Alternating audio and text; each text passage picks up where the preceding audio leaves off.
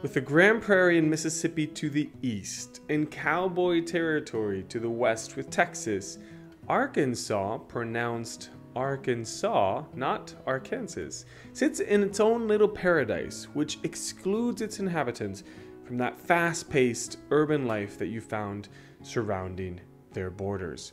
If you want to learn more about this beautiful gem, natural habitat, and incredible landscapes, stick around for this next video. Now, as I just pointed out, it's impossible not to talk about Arkansas without talking about its nature. It's so famous uh, and the landscapes are so well known that it's actually called the natural state of the United States. It has a lot of different forested areas, national parks, prairies, hot springs, mountains, valleys, rivers, lakes, anything you can imagine to explore while studying in this beautiful state. They include dozens of hiking trails, of rivers to visit, of biking trails for people with different levels of skills when it comes to mountain biking. Uh, has cliff tops for beautiful landscape views. Has amazing sunsets, and when it comes to the fall season, has amazing change of colors on those trees. So please be sure to check out this beautiful natural park, which oftentimes goes unnoticed in the maybe bigger scheme of things when you look at Yosemite or Yellowstone or the big, you know, name brands when it comes to national parks. This one is definitely or should definitely be on your bucket list. Now, when you look at the educational scene, you're going to notice very quickly that the predominant player in Arkansas is the Arkansas State System. It basically controls the bigger and more well known universities across the state limits, uh, as well as a few community colleges and a few specialized higher education centers. Now, the flagship of this system would have to be the University of Arkansas at Fayetteville. It has 23,000 undergraduate students. It is the largest when it comes to the size of the school. It has amazing majors, a long list of majors to choose from. Um, and you can also get to have that campus vibe at Fayetteville with a lot of different sporting events, social events, um, or clubs to take part in. If you're an international student that also wants to feel engaged with the student body, don't worry, there's a very active student body on Fayetteville. It even has more than 100 countries represented on campus. So you're never going to get bored of meeting new people, talking to new, uh, you know, different societies, different cultures, different people from around the world. Now, if you want to look at other centers as well that might have that brand recognition, you also have the University of Arkansas Little Rock, you also have the University of Central Arkansas, um, or Arkansas State University. But as I referenced before, those will be smaller in size than um, compared to the larger Fayetteville campus. Uh, but you will have a beautiful spectrum of majors to choose from, master programs as well, and a job market that is definitely enticing its students to stay within the Arkansas limit. And that's right, Arkansas is deliberately and actively trying to keep its students once they graduate within the state limits. And there's many reasons for students to consider this as well. Keep in mind that Arkansas right now is roughly 15, 14.7 nearly 15% um, below the national average when it comes to cost of life. So that also impacts the uh, purchasing ability of these recent graduates, whether that's buying a home, a car, savings, etc. It's a very enticing reason why to stay in Arkansas.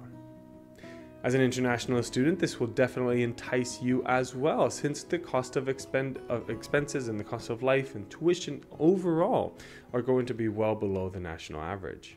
Now, the easy response to all of this will be well, Aaron, that's because there's not that much going on. That's why the cost of life is so cheap, and that's why nobody really wants to live in Arkansas. And while that historically might have been true, it's not true in today's economy.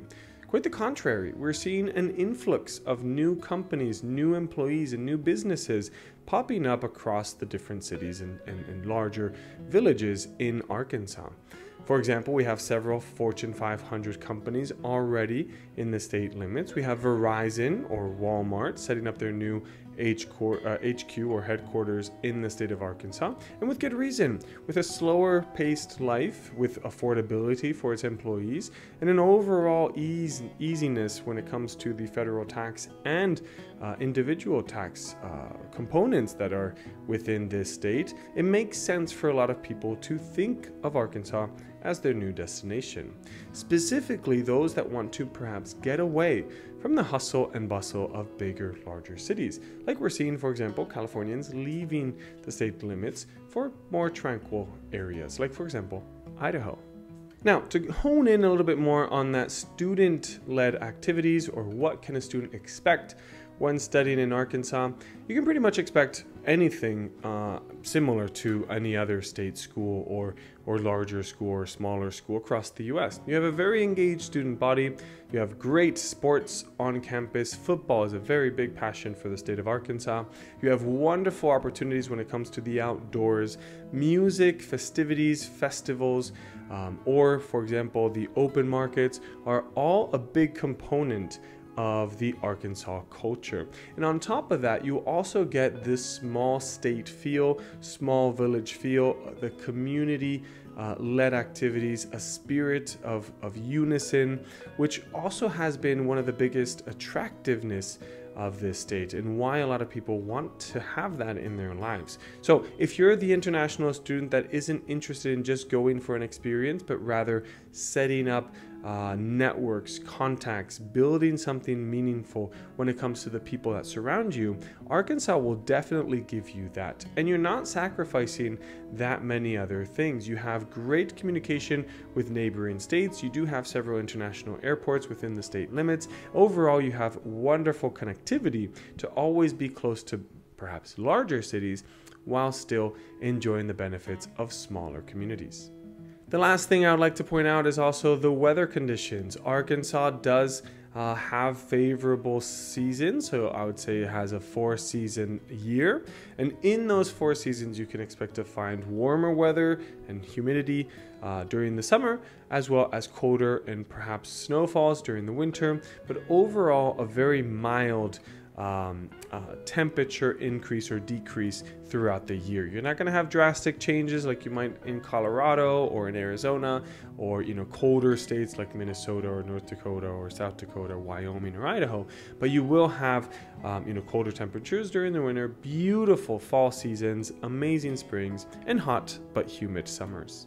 Now, if you've liked any of this content and maybe sparked some interest when it comes to the state of Arkansas and you want to learn more about this beautiful and magnificent state and perhaps see how you can make your studies happen in this state, then please go to the description of this video. On that description, you're going to find a link that will take you to an online form. Fill that form out in order to get a free consultation with an ePro 360 expert. And on this consultation call, we can better assess your profile, your desires, your needs, perhaps other states that might appeal to you as well, and start that journey of studying in the United States today. If you've liked any of this content and you want to see more of it, then please smash that like button, hit the subscribe button as well, activate your notifications, and that way any future content we create, you will be the first one to know.